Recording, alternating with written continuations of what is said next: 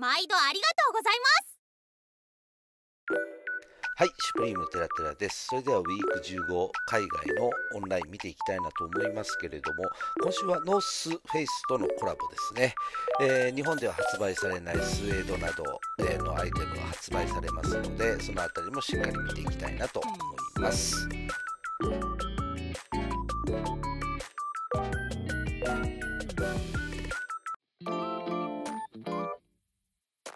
はい、それでは日本の発売日12月2日の全国の天気見ていきたいなと思います。東京、晴れ時々曇り、最高気温13度。続いて名古屋、晴れ時々曇り、最高気温10度。えー大阪、晴れ時々曇り、最高気温12度。えー最後、福岡ですね、えー曇り時々晴れ、え最高気温12度となっております。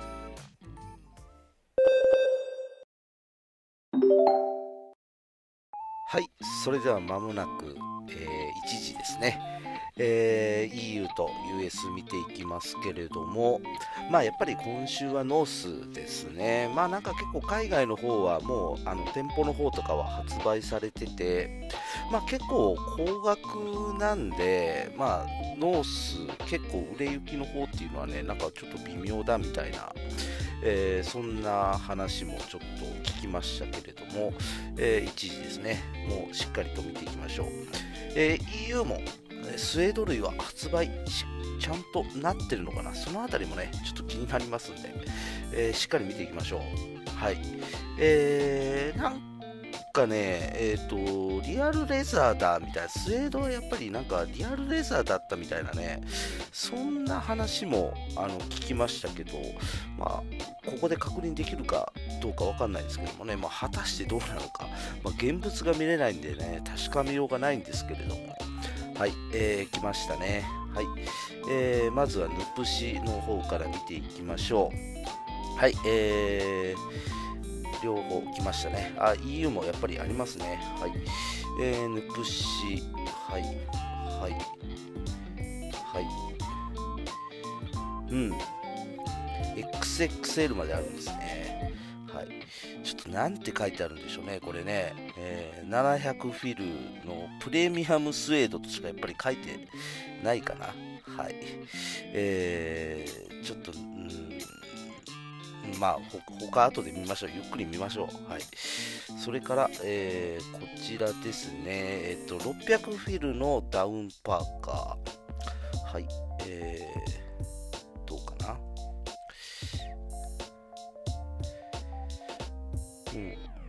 っぱり速乾っていうことでもなさそうですね。数はそれなりにあるのかな。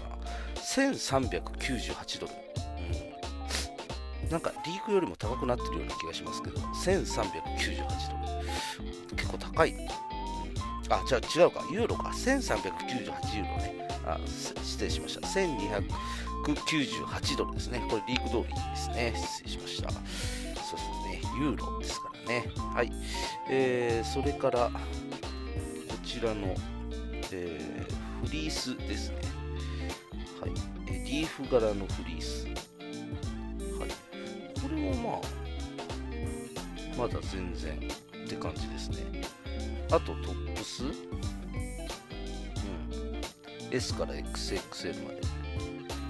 S から XXL まで。はい。えーと、続いて、えー一応全部ノースは見ていこうかな。先にノースだけでもちょっとね、収めていきましょう。ん？ホワイト。うーん、うんな、なんか全然売れてないですね。はい。なんか全然売れてない。えー、マウンテンパンツ。こちらは？パンツ類は結構早かったりするんですけどね。結構こういう系は。これもあんまり動きないのかな。いや、更新しないといけないのかな。ちょっと更新もしないといけないとは思うんですが、先に、えーこれはダッフルバッグ。ダッフルバッグは、えー残ってるって感じですね。はい。で、えーもう一個、ショルダーバッグの方はあなんか違うの出ちゃった。えー、バックで見ようかバックショルダーバック結構いいんですけどね。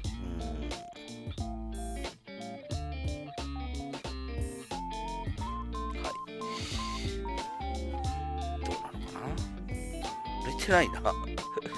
全然ソールドが出てないあちなみにアクセサリーのあサイズがあるんですね。やっぱりねノースこのサイズが難しいですよね。まあまあ日本発売ないんですけどねスウェードうん。まあ残念ですよね。ちょっとでも販売してくれたらまあ顔の手袋かっこいいですねこのグローブ。はい。でもう一個はあこれか。キーチェーン。キーチェーンは38ドルなんですね。うん。これもう残ってると。ちょっと一回これで更新しましょうか。はい。えー、まず US の方から更新。え、何がソールドしてるんだ ?EU も更新。はい。何が売れとるんでしょうね。なんか、今パッと見た限りでは、然何もって感じなんですけど、もう一回さっさっさっさっと見ていきましょう。あ全然残っとるな。ヌプシも。あヌプシはちょっとブラックが欠けたぐらい。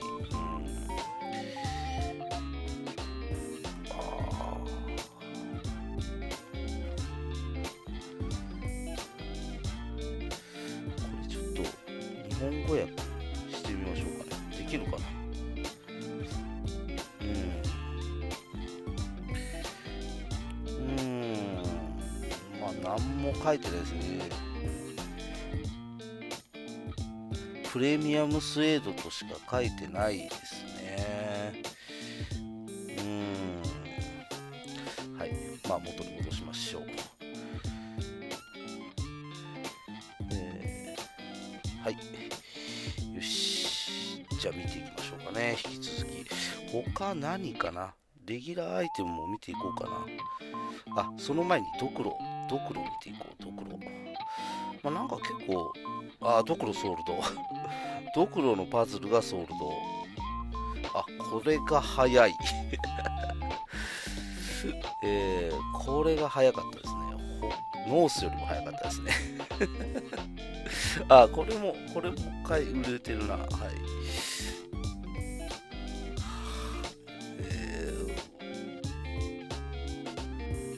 ワイルドキャットですね。えー、サイドラインパファージャケット。これすごいな。これすごいですね。えー、これすごいわ。うん、これの ノースよりも人気。ノースよりも人気ですね。はい、オレンジが特に人気。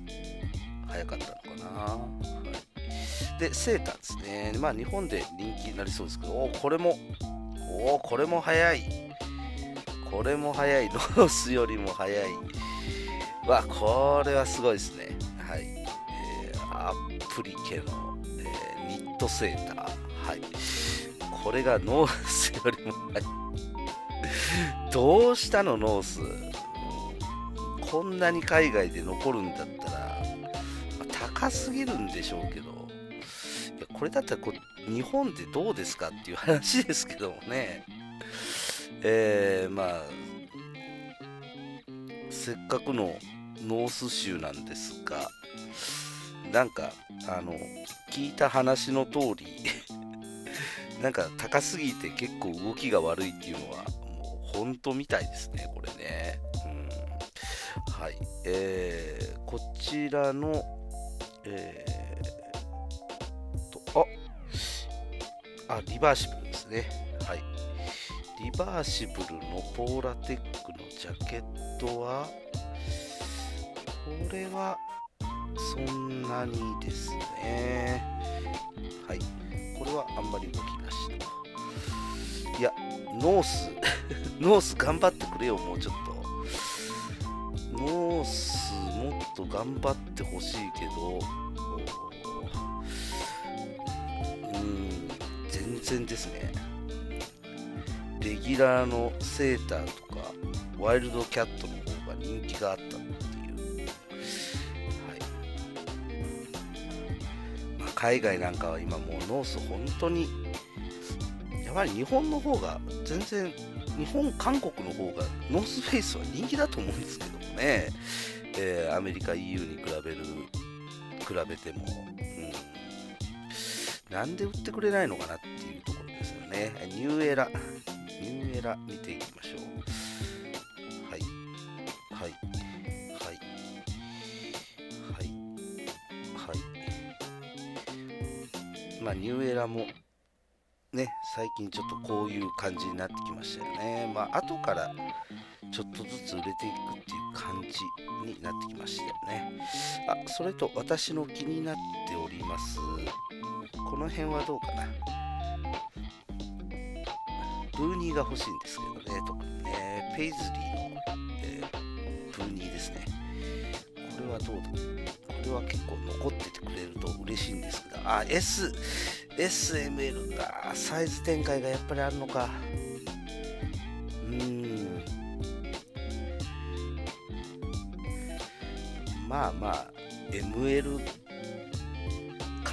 けば問題ないでしょうみたいなところあるんですけどこれはちょっと動きそんなにないですね。今週。うん。この辺りは。これ結構安いですよね。40ドル。日本では5500円で販売されるみたいですけど、まあ、この辺りも別に悪くないなと思ってるんですけど、えー、アクリルですね、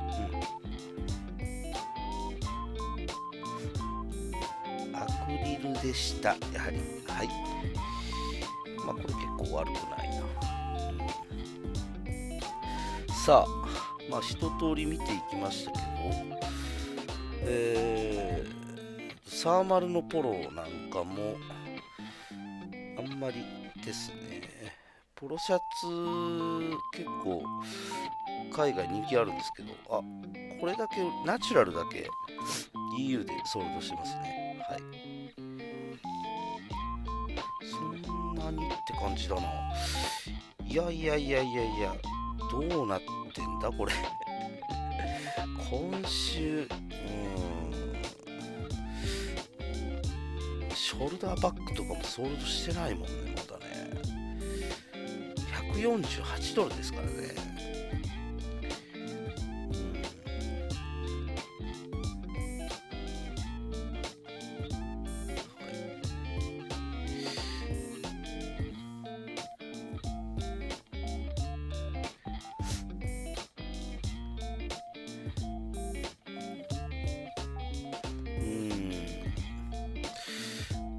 まあ、ちょっと更新しましょう、もう一回。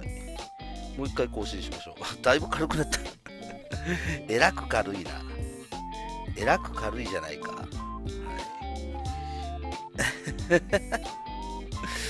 い。もう、これは、サムネイル、これで決定ですね。今週は。ねまあ、ブルーにしとこうかな。ブルーで、えー、こんなんだぜと。うん、もう、今週のサムネイルはこれで、これで決定です。ね。はい。果たして、みたい。な。い。やー、うーん、なんか残念だなあ、リバーシブルの、えー、ポーラテックのリバーシブルのブラックですね。これが EU ではソールドになりましたね。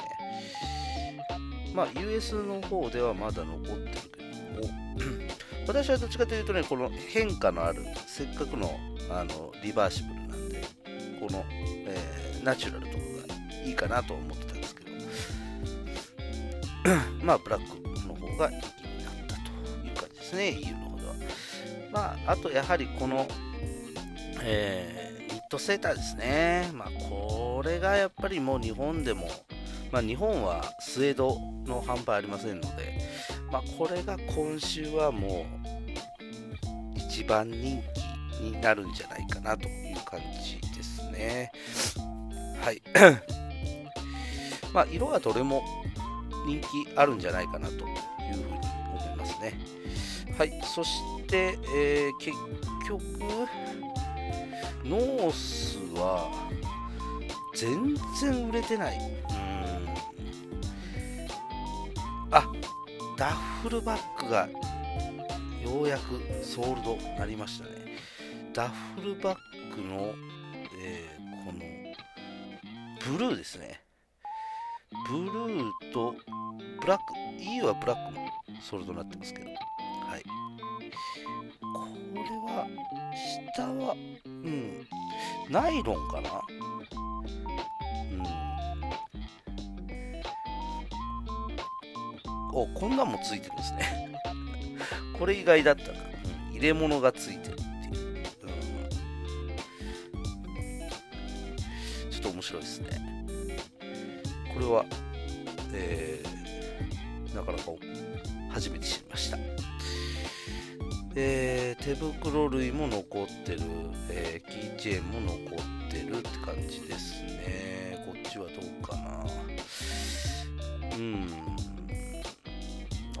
残ってますね。はい、残ってます。アクセサリー類はドクロの方が人気だったというような感じ。えー、この辺りは？この辺りも、まあ、特に動きなしという感じですね。はい、えー、という感じで、えー、もう15分ですね。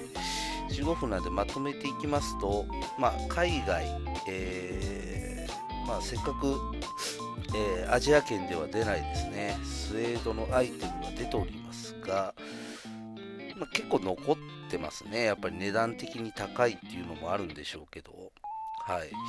えー、結構残っております。はい。で、えー、一番早かったのはちょっとね、ノースばっかり見てたんで分からなかったですけど、まあ、セーター類ですね。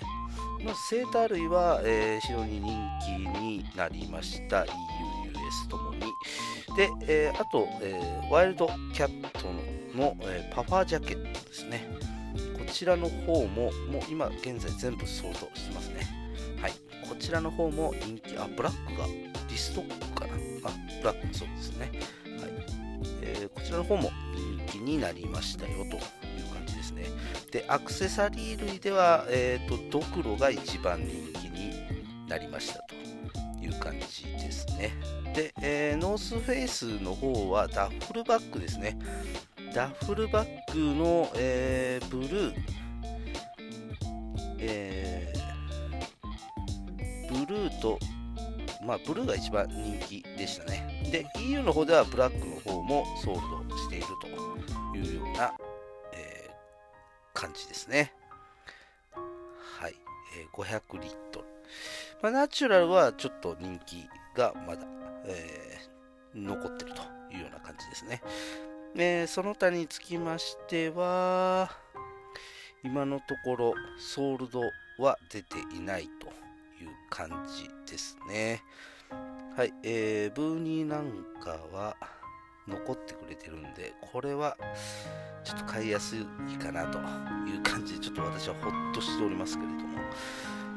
はい、えー、まあ日本では、うーん、まあノース一部リーフ柄が出ますけどもね、まあ、やはり、えー、セーターの方が、え、人気になって、まあ、その後、まあ、ニューエラとかもですね、結構人気な出てくるんじゃないかなと思いますけど、まあ、ドクロですね。ドクロのパズル、まあ、意外と1万円切って安いので、まあ、30センチぐらい大きさあるみたいですけどね。あ、リスしてる。リストックしてる。はい。まあ、リストックしてますけど、まあ、そんな感じですね、今週はね。うーんなんで発売ならんかったんだろうと。うん。何回も言うようですけどもね。なんで販売してくれないのっていう、うん、があります。えー、日本語訳。うん、ねえ、これ、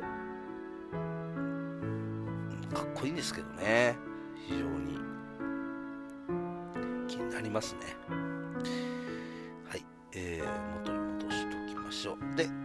最後ですね、えー、サイズ表の方見ていきましょう。さーっとね、えー、多分インチ表記になってますんで、2.54かけていただいたら、まあ大体、えー、わかるんじゃないかなというふうに思います。はい、という感じで、まあ日本ではね、ちょっと、まあ残念な、まあ、ノースでしたけども、海外の方の売れ行きはまあそこまで、首をかしげる程度みたいな、そんな感じになってますね。はい、えー、日本はどうなるんでしょうか。えー、まあ、非常に楽しみですね。それでは、おやすみなさい。